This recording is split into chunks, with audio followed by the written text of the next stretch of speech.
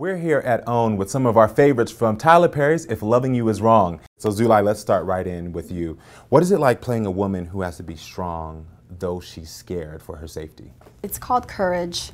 You know, as a woman, I feel like I have to be strong. You have to be strong just through life's moments. Yeah. And you have to just kind of have the courage to go through them, whether whatever whatever the situation is, whether it's a relationship, whether it's your family, work stuff, which could be tormenting sometimes. So you kind of have to have the courage to say, okay, you did this. This is, you know, the, the, the circumstance that you created. How then do we, in this moment, act in a way that's going to get me from here to where I need to be tomorrow. And Octavio, your character is caught in the middle of this crazy love affair that's yeah. happening, right? What was it like playing a character like that? It was amazing. Um, there's so many. There's so many. Uh, colors to this character because of the background where he comes from, which you know you're going to find out.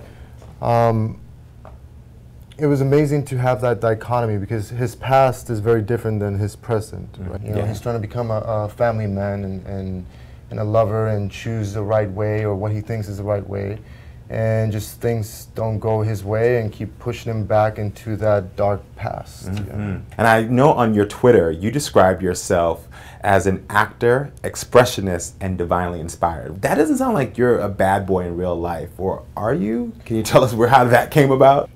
I'm a human being, so mm-hmm. you know we've all made choices in the past, and both right and wrong. That from another person's perspective, they can be seen as something bad or whatever. Um, I wouldn't consider myself a bad person. Um, I'm bad an actor, boy. or a bad boy yeah. is a bit different than a bad person. Mm. Uh, expressionist, I'm a painter, so I, I, I, feel like everything that I do is very expressive, whether it's painting or acting or, or cooking or dancing or singing or whatever. Um, divinely inspired, I, I think that everything is in life divinely inspired, whether it's nature or art or this conversation. Yeah. Um, so I think that really drives my life. You know, everything that I do, I feel like it's divinely inspired. Divinely, I mean just just naturally inspired. Yeah. You know, well, just to let you know from when you were describing yourself, I'm yeah. almost sure you just melted tons of hearts out there. Yeah. like everyone who just watched this is going to fall in love with you. But I want to talk about you a little bit personally as well. I read that you were in the army. I was. Yeah, tough woman, beautiful and strong. Impressive. Yeah, very impressive. Thank you. So, how did being in the army prepare you for acting and being in this role? In the army, I feel that your life and your time be belong. It's it's a lifestyle. It's not a job. It's a complete lifestyle. You're a civilian. I am a soldier, and mm -hmm. we live a mm-hmm. different lifestyle from from civilians. Before I went to the army, I didn't know how I would have the resources to become an actress. Mm -hmm. I was an immigrant from Im from immigrant parents who came to this country. You know, um, they didn't speak the language. So growing up, it was you know I had my parents were were very um, adamant about go to school, go to school, go to school. That's why I went to the military so that I could get money for college. Mm. But what ended up happening is that it showed me, it really showed me that I am so powerful.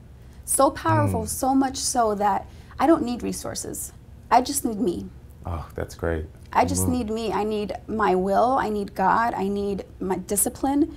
And if you take all those things and you, I, I want, I get teary eyed because it's so, it's so true. It's -hmm. so mm-hmm. important um, for anything that you do in life to understand how much you need you. Mm-hmm. And I needed me, yeah. and I think it taught me the confidence. It uh, gave me the discipline. It gave me um, self worth because mm-hmm. I was like, I can really do this. Make sure to tune in to Tyler Perry's If Loving You Is Wrong every Tuesday night starting September 9th at 9, 8 central. And also make sure to come back to hashtag OWN Show for more exclusive content.